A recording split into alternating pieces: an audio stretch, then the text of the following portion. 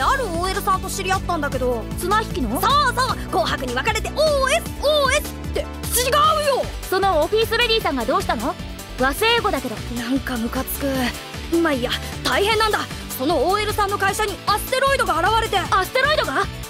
ちなみに綱引きの OS はフランス語という説もあるそうです。次回「ロックマンエグゼストリーム。ストーンパニック」君も僕らと一緒にクロスフュージョン！